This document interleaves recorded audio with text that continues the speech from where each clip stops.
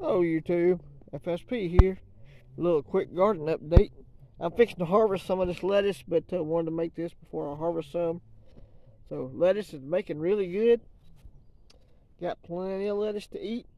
Some fresh lettuce. I'm gonna have me some sandwiches here later.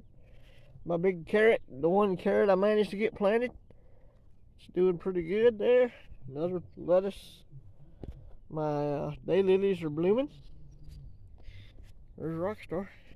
Over here is my okra coming on wild. Uh, I do have some damage here, like I was saying the other day.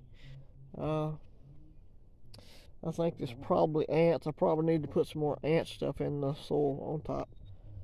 So uh, that's what we got going on for the little mini garden update. Hope y'all are having a blessed one. FSP, we out.